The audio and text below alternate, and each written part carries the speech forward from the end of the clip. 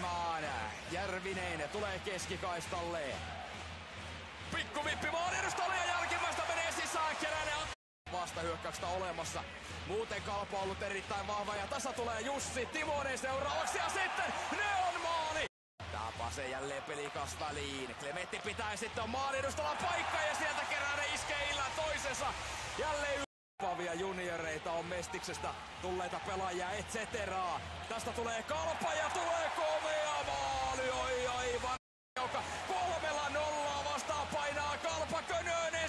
Könönen ja mikä maali! Herranen ai Sebokille. Sitten merellä pääsee riistämään kiekko poikittaa ja kultio maali! Sakke Hämäläinen lattaa nousiaineen. Ja Nuutinen nousiainen ampuu ja paluukiekko ja siellä soi!